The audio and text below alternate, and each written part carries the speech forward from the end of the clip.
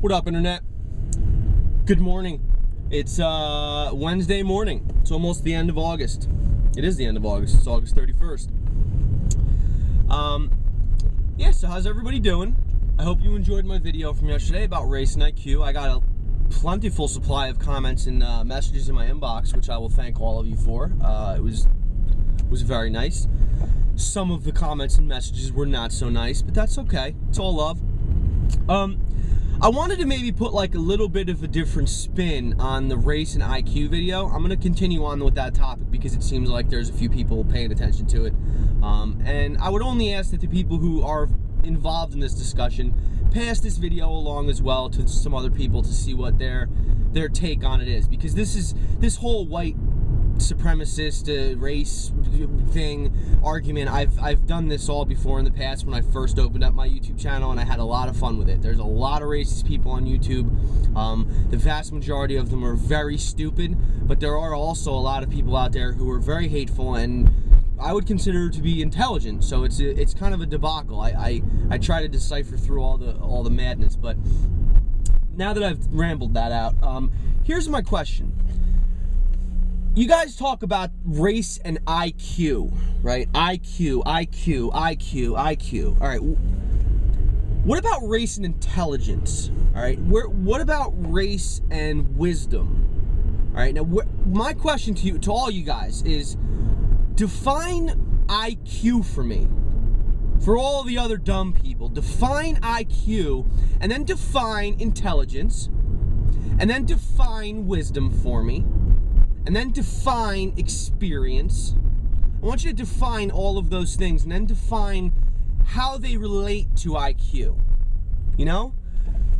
And especially, I'm turning down the wrong road. The sun's gonna be glaring in my eyes. Um, yeah, sorry. Deal with it on this road. Uh, and to my question for, uh, I'm gonna turn around because this is unacceptable. I can't even see.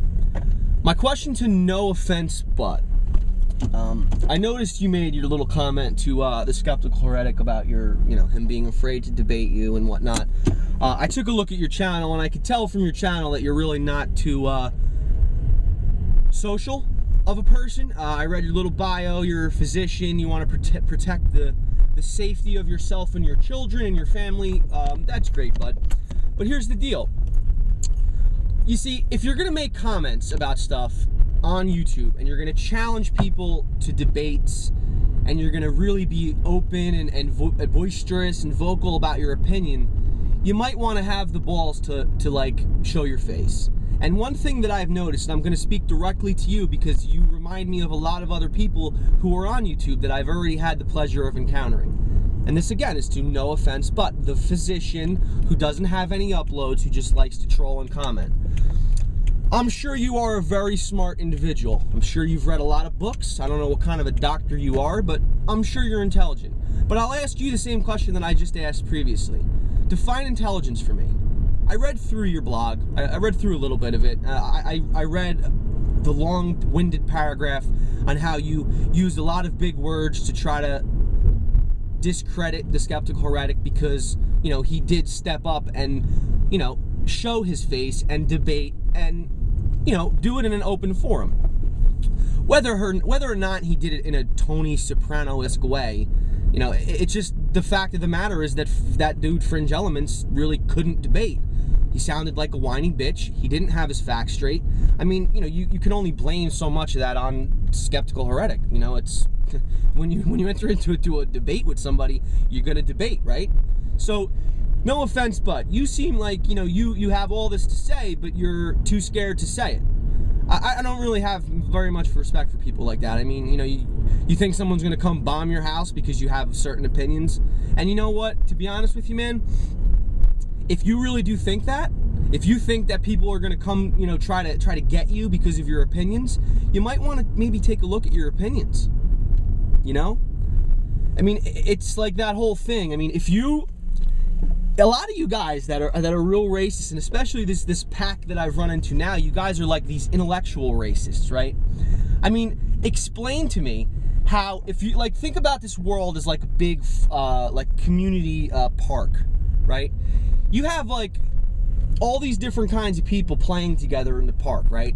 Everybody's having a good time and hanging out. You know, this guy may be able to jump a little further than the other guy. This guy might know a little bit more about science. This lady over here is a really good, you know, uh, studier of weather, or she knows uh, the, you know, the patterns of the stars. This guy over here is a master chef. Like you have all of these different people with different things going on together, all playing together in this big collective sandbox we call Earth, right? And then you have this group of people and I'm not going to label race on any of, the, of, of you guys because I'm not going to label race label anybody. But how is it intelligent in any fucking way, shape, or form to go around in uh, on the planet amongst all the other people that you're you're sharing space with, going, "I'm the smartest, I'm the smartest, you're all stupid, I'm white, I'm the best." Like that's what it seems like you guys are doing, and and the majority of you guys are too fucking scared to even show your face because you know what you're saying is just hateful. That's really all it is. You can go around and around and around and read all of these books and studies and shit, you know, about about genetics and and what this might prove or that might prove. Our our, our species is ever evolving. Your, your science that you're reading is is old. It's been old I mean, we're evolving as a species right now. There are things going on that you don't know about, that none of us know about. That's a fact. You guys that that spend so much time being hateful, all you're doing is that. You're being hateful and you're drawing dividing lines between people who would probably be friends. You guys are all probably shut-ins. You have no other friends other than the people who you deem as being safe to surround yourself with. It's just sad to me. It's just sad. So that's my long-winded response to, to everyone involved. I'm not going to do an RA. I'm just going to do race, IQ, intelligence, and I'm going to ask you guys to spread the video around to whoever you think might be interested in hearing it. I'm very interested to hear what your definitions of intelligence, wisdom, and all that stuff are, and how it relates to race and IQ. And you know, I mean, just to, as a closing, a closing point, you know, if you're if you're sitting in in the middle of uh, you know the Australian desert, right? And you got like 16 math books around you, and you can solve fucking any math equation in the world, and you have some other guy next to you who's dumb as a box of rocks, but he could fucking find water in the desert and you can't. Who's the fucking dumb one then?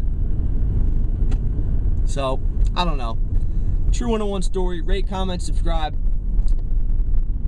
That's pretty much all I got, people enjoy your day. Try not to be so damn negative. Peace.